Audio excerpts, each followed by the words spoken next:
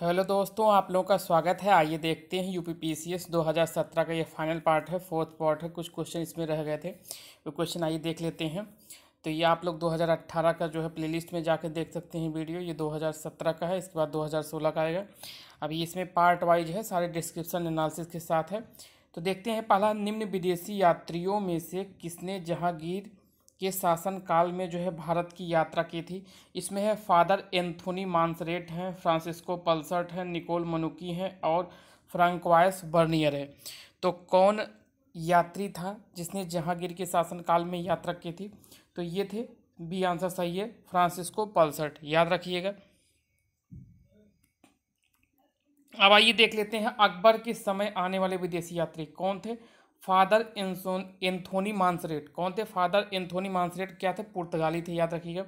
Rolf Finch आए थे, जो यात्री आया था, इसमें अकबर के शासनकाल में कौन? अंग्रेज़ था। अब आइए देखते हैं जहांगीर के शासनकाल में आने वाले यात्री। ये थे पियत्र। देला वाले क्या थे? इटालियन थे। ये आए थे जहांगीर के शासनकाल में। इसके बाद आए थे एडवर्ड। एडवर्ट टैरी आए थे, अंग्रेज़ थे। ये फ्रांसिस्को पल्सर्ट आए थे। ये डच था, ये क्वेश्चन में पूछा गया था। सर टॉमस जो है अंग्रेज़ आए थे 1615 में। विलियम हॉकिंस ये भी अंग्रेज़ 1608 में आए थे। तो इतना जहांगीर के शासनकाल में याद रखी गया। Pietro della Valle Edward Terry, Francisco Pelsaert, Sir Thomas, William Hawkins. अब आइए देख लेते हैं शाहजहाँ के शासन, शासनकाल में आने वाले विदेशी यात्री। पीटर मुंडी है पीटर मुंडी आया था, कहाँ था? इतालवी था, इटालियन। और इसके बाद जीन बैप्टिस्ट ट्रेविनियर, क्या था? फ्रांसीसी था। अब इसके फ्रांसिस बैनियर फ्रांसीसी था। इसके बाद मैन डेस्लो आया था। तो ये इतने इंपॉर्टेंट थे, इसको याद रखिएगा शाहजहाँ के शासनकाल में।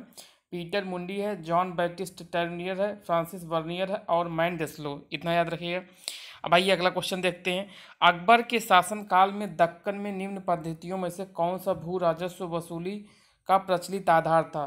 कनकूट है हल्की संख्या है, जब्त है, गल्ला बक्सी है। तो कौन सा इसमें था? दक्कन के क्षेत्र में भू राजस्व प्रणाली के लिए तो हल की संख्या।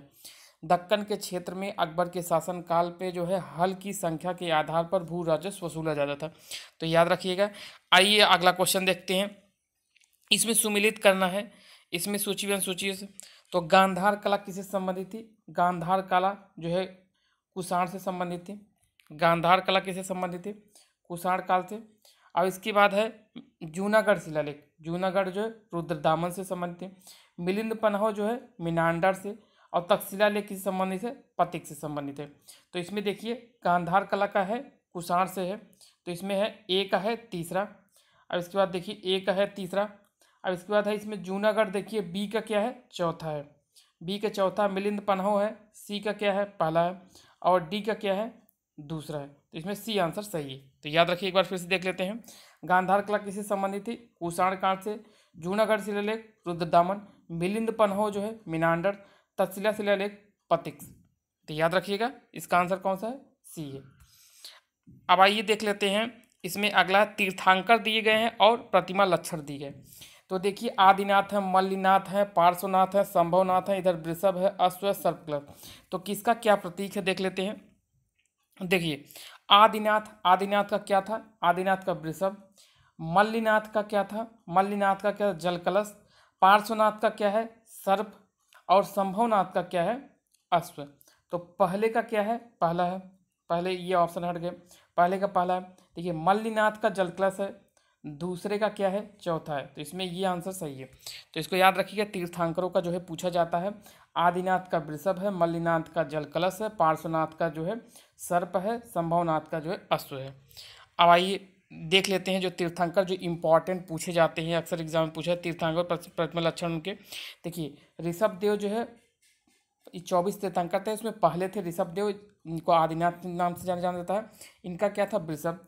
दूसरे नंबर कौन थे? अजीतनाथ, जिनका हाथी। तीसरे पे संभवनाथ थे, जिनका था घोड़ा। संपार्श्वनाथ, ये थे, इनका क्या था? स्वास्तिक संपार्श्व। ये संपार्श है। पार्श्वनाथ अलग है संपार्श अलग हैं। तो संपार्श का क्या है? स्वास्तिक है। शांति का क्या है? शांति का जो है, हिरण है। ये सोलहवें नंबर के थे। इक्कीसवें नंबर पे नामीनाथ या नेमीनाथ के नाम से भी जाना जाता है। इनका नील कमल था। अरेस्टी नेमी अरेस्टी नेमी का क्या था? अरेस्टी बाईसावें तो बाईसावें तीर्थंकर थे, इनका शंख और पार्श्वनाथ का क्या है? तेईसावें तीर्थंकर, इनका सर्प है। और चौबीसावें महावीर है, इनका क्या है? सिंह है। तो ये जो इम्पोर्टेंट का याद रखिएगा ऋषभ देव का क्या है? वृषभ है। अजीतनाथ का हाथी है। संभवनाथ का घोड़ा है। संपार्श्व का स्वास्तिक है। शांति का हिरण है। नाम क्या क्या है? नीलकमल है। अरिस्टिनेमी का क्या है? शंख है। और पार्श्वनाथ का सर्प है, महावीर का सिंह इतना याद रखिएगा। अब देखिए, छठी शताब्दी का मत्स्य महाजनपद स्थित कहाँ? पश्चिमी उत्तर प्रदेश में, राजस्थान में, बुंदेलखंड में, रोहिलखंड में। तो छठी शताब्दी का जो, छठी शताब्दी से पूर्व का जो है मत्स्य महाजनपद कहाँ स्थित है? तो ये राजस्थान में। इसकी राजधानी क्या थी? विराटनगर अब आइए देख लेते हैं सोलह महाजनपदों के बारे में।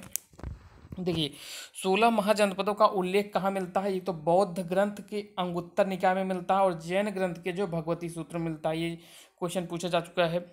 अब आइए सोलह महाजनपदों का देख लेते हैं राजधानी। काशी की क्या थी? वाराणसी, कौशल का, श्रावस्ती, अंग की, चंपा, मगध की, गिरिब्रज राजगिरी, वज्र की क्या थी?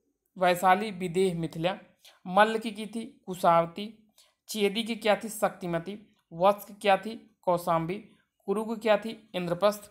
अब देखिए, पांचाल में एक उत्तरी पांचाल था, उसकी राजधानी थी अचछत्र और इसके बाद दक्षिणी पांचाल की राजधानी की काम कर ली। मत्स्य का जो क्वेश्चन पूछा गया था, विराटनगर, सूरसेन का, मथुरा, असमक जो है, पोटली या पोतन, ये दक्षिण भारत का गोदावरी नदी के किनारे केवल एक सोलह महाजनपदों में एक महाजनपद था, इसे याद रखिएगा। अवंती की राजधानी उज्जैनी महास्मति, और इसकी बात है गांधार का तक्षशिला, कम्बोज का हाटक।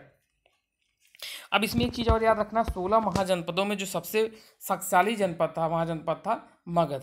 अब देखिए, सोलह महाजनपदों में अस्मक जो है, केवल एक ऐसे जनपद जो दक्षिण भारत में जो गोदावरी नदी के किनारे था, याद रखिएगा। अब आइए अगला देखते हैं, जौनपुर राज्य का अंतिम शासक कौन था? जौनपुर राज्य का अंतिम शासक मोहम्मद शाह, मुबारक शाह, इब्राहिम शाह और हुसैन शाह। तो कौन था? तो इसका हुसैन शाह। जौनपुर राज्य का अंतिम शासक कौन था? हुसैन शाह था। तो अब आइए देख लेते हैं, देखिए, जौनपुर शहर की स्थापना किसने कराया था?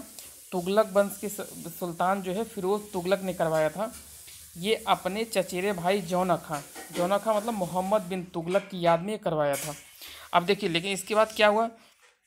तेरह तेरह सौ चौरानवे में जो है, तेरह सौ चौरानवे में मलिक सरवर ने जौनपुर पर सरकी वंश की स्थापना की थी। तो सरकी वंश का शासन जो है जौनपुर पर पचासी वर्षों तक चला था। जब दिल्ली सल्तनत में जो है बहलोल लोदी शासक आया, बहलोल लादी लोदी आया, उसने क्या किया? सरखी वंश के अंतिम संस्थापक हुसैन शाह को हरा कर जो है इसको दिल्ली सल्तनत मिला लिया।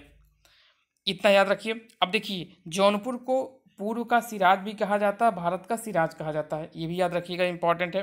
अब आइए इसमें देख लेते हैं, बराबर पहाड़ी की गुफाओं के विषय में निम्न में से कौन सा एक सही नहीं है? अब इसमें कौन सा सही नहीं ये बताना है। देखिए, बराबर पहाड़ी की कुल चार गुफाएँ हैं, तीन गुफाओं की दीवार पर अशोक के शिलालेख उत्कीर्ण है। ये अभिलेख इन गुफाओं को आजीविकाओं को आजीविकाओं को समर्पित होने का उल्लेख करते हैं। ये अभिलेख छठी छठी इस शताब्दी पूर्व की है। तो देखिए, इसमें इसमें कौन सा गलत है? तो देखिए, ये गलत है। ये छठी शताब्दी के बाद की बनी है। छठी शताब्दी के बाद जो है मौर्य वंश आया था तो शासक अशोक ने बनवाया था।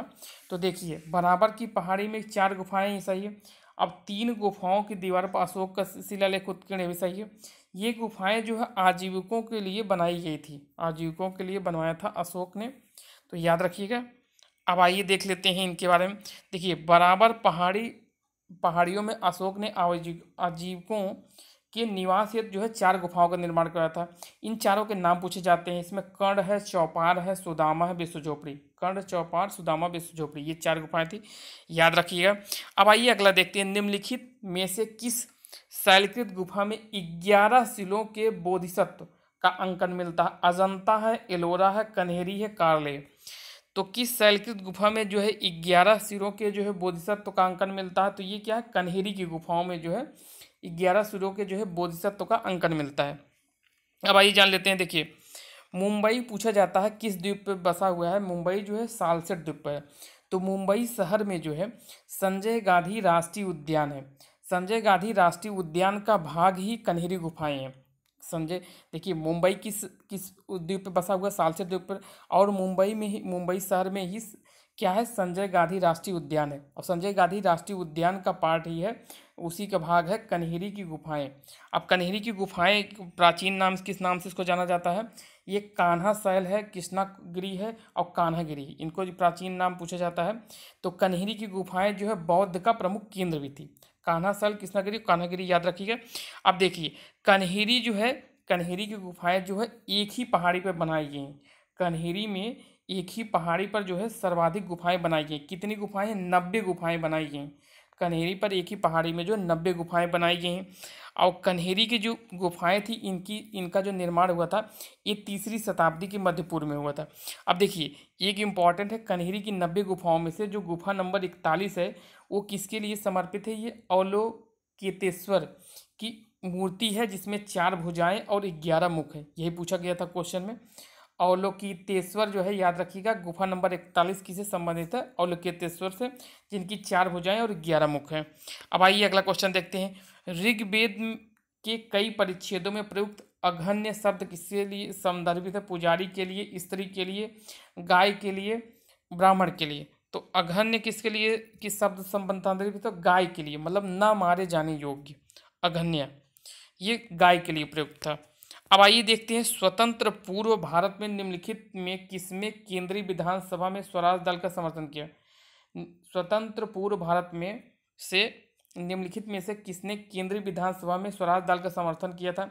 एम ए जिन्ना है, मौलाना अब्दुल कलाम आज़ाद है, डॉक्टर राजेंद्र प्रसाद है, जवाहरलाल नेहरू। तो केंद्रीय विधानसभा में स्वराज दल का समर्थन किसने किया था? ये थे मोहम्मद अली जिन्ना। ये आंसर सही है। तो देखिए, नवंबर 1923 में जो है विधानसभा परिषदों में चुनाव हुए थे। तो केंद्रीय विधानसभा में 101 निर्वाचित सीटों में जो है बयालीस सीटों पर जो है स्वराज पार्टी की जीत हुई थी। तो ये इतने क्वेश्चन थे ये 2017 का पेपर एनालिसिस कंप्लीट हो चुका है। अब 2016 का अपलोड करूँगा। थैंक यू फॉर वाचिंग आप लोगों का कमेंट में कुछ कमेंट कर, लिखना चाहते हैं तो लिख सकते हैं और लाइक डिसलाइक कर सकते हैं। थैंक यू फॉर वॉचिंग मिलते हैं नेक्स्ट वीडियो